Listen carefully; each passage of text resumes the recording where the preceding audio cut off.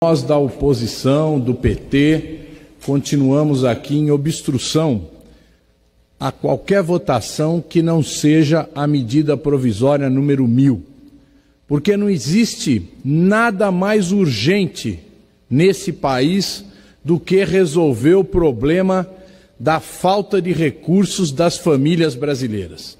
Nós estamos vendo os preços dos alimentos aumentarem, não para de aumentar. Cada dia a gente tem uma nova notícia: é o arroz, é o feijão, é o óleo, é a carne. Os preços aumentam nas feiras e as pessoas têm grandes dificuldades, exatamente porque o desemprego é na casa de 20 milhões de pessoas. O drama de milhões de famílias, são 62 milhões de famílias, de pessoas e de famílias que tiveram cortada pela metade o auxílio emergencial.